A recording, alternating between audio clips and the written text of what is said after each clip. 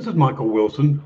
We're looking at embracing courage and faith, lessons from Exodus 1 for our Christian journey. Let's do it. The book of Exodus stands out as a testament to the power of God, the resilience of his people, and the unfolding of divine providence. Exodus 1 in particular sets the stage for the epic saga of liberation, showcasing timeless principles that resonate deeply with the Christian journey. Within its verses lie profound insights into courage, faith, and the unwavering sovereignty of God.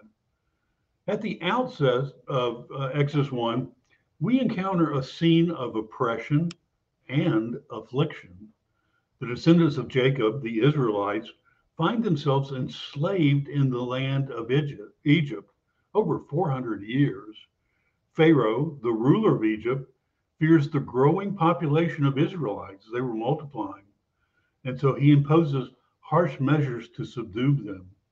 In the face of adversity, the Israelites are confronted with a choice succumb to despair or cling to hope.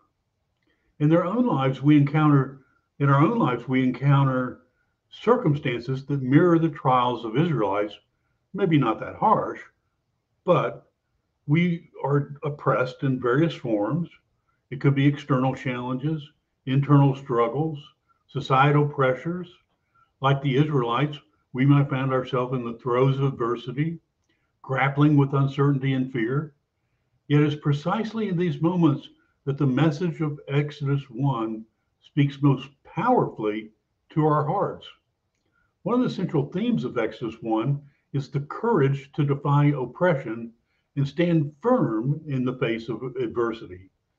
Despite the formidable might of Pharaoh, the midwives, Shiphrah and Puah, exemplify courage and moral integrity. When commanded to kill the Hebrew infants, they chose to fear God rather than obey the dictates of man. Their courageous defiance serves as a beacon of hope amidst the darkness of oppression. As Christians, we are called to embody the same spirit of courage. God, through His Holy Spirit, gives us courage, and we need moral conviction in our lives. We're called to stand as lights in the midst of darkness, to speak truth in the face of falsehood, and uphold righteousness in a world plagued by injustice. We see it daily now where Christians are challenged to refute the basic truth we know sometimes, like men are men, women are women, men and women should marry forever. These are just basic truths of God, but they're, we're challenged. And so the example of Shiphrah and Puah reminds us that true courage stems from deep reverence for God and a steadfast commitment to his principles. Exodus 1 underscores the importance of faith in the providence of God. Despite the dire circumstances surrounding them, the Israelites cling to the promise of deliverance. Their faith is not in their own strength or their own resources, but in the faithfulness of God to fulfill his covenant promises. Even in the darkest of times, they trust that God is working behind the scenes to bring about redemption.